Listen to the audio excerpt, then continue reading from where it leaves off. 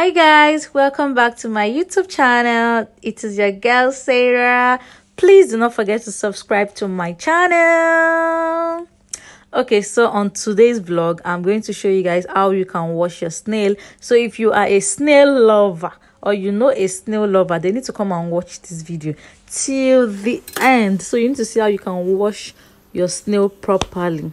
Let me give you guys back to London just right now london is getting colder so it's even hard for me to step out of this house as in it is really really hard because everywhere is cold i don't have a car as in no the cold is there it's already entering my chest. So most of the times now i'm always at home focusing on assessment um or if i'm just if if i step out maybe to just take my kid to school and go and pick him back up. That's just all i do right now. So you guys should help me manage this snail video.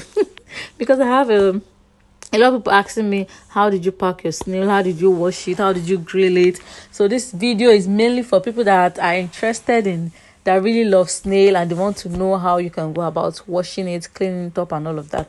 So this was i used um, lemon to wash the snail. You can use alum to wash it but i think they said alum is not advisable maybe it would make the how I put it, it takes away more of the flavor. So you can use salt you can use lime you can use lemon. You can some people say you can even use ordinary hot water. I posted a snail video on my tiktok page guys.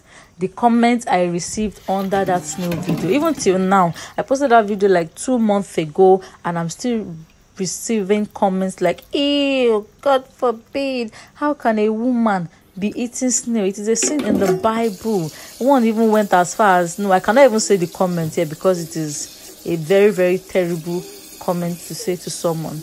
Like I like it really now it now exposed me to okay, so there are some people that don't eat snail. Even in Nigeria, some people were commenting. I think people from the east were putting in their comments like they don't eat snail, and I'm like, oh wow, really? Snail that is hmm, one of the most expensive what do we call this one? Is it meat or chicken? Well, one of the most expensive something sha in Nigeria is what people don't and it's sweet if you cook it right.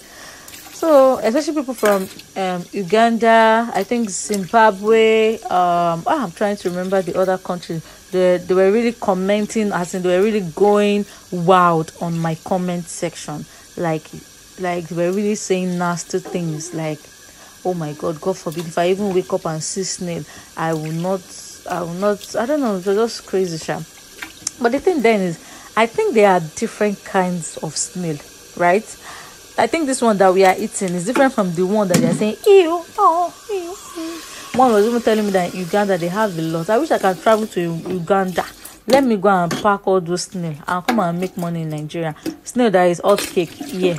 That's what they're doing ew oh yeah oh back to reality so at this point i finished washing it with lemon. I'm just then i put it on fire just to you know um parboil it again so that i can be sure that okay yes everything has come off it. So i'm draining the water.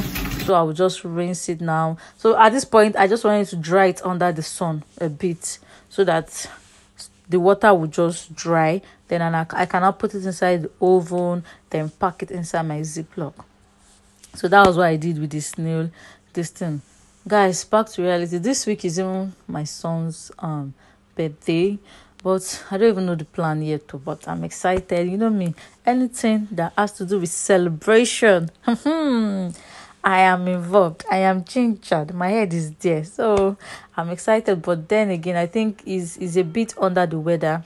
You know, everywhere is cold now. So these kids, eh, cough, cold everywhere. Everybody is just catching it everywhere. So I don't know. I don't know what the plan is right now, but we're going to plan it.